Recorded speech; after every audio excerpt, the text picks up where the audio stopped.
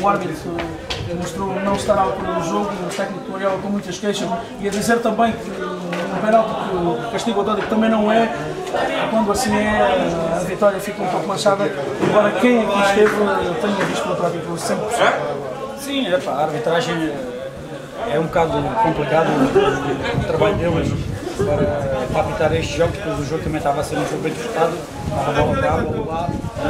pá, mas nós estávamos concentrados no, no nosso trabalho, houve algumas decisões que nós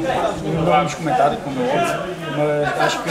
nós fizemos do, desde o início até o fim, sempre fizemos para ganhar o jogo. Bom, entrar com o pé direito é muito importante, o Atlético entra já na frente do campeonato, porque é que vai à frente linha duas vezes, embora haja a noção que todos os jogos vão ser difíceis, vão ter grau de dificuldade ao. Sim, nós tínhamos consciência da dificuldade deste jogo aqui, era muito importante começar com o pé direito,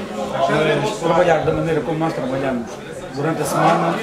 a compensa que nós temos o domingo só pode ser a vitória e hoje aqui isto ficou bem claro. Uh, jogámos bem, uh, tivemos uma boa equipa, um bom desempenho dos, dos, jogadores e quando assim é, as coisas acabam por surgir com naturalidade. Paulo, vem dois jogos em casa, obviamente que o Atlético não quer deixar fugir pontos do campo de Gilborão, mas a força do público, o apoio do público é importante e a equipa com esta vitória terá,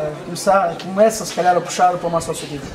Sim, hoje já tivemos aqui uh, alguns sócios e alguns adeptos aqui a ver uh, o jogo, uh, estavam efusivos com os lances, com as jogadas e quando assim é, acabam por nos ajudar a nós e os jogadores que estão lá dentro acabam por nos motivar. E creio que agora estes jogos em casa, no público em casa, nós vamos desfraldar e o nosso objetivo sempre, como disse anteriormente, é sempre a vitória e é para isso que trabalhamos. Obrigado Paulo, felicidades, um treinador adjunto da equipa.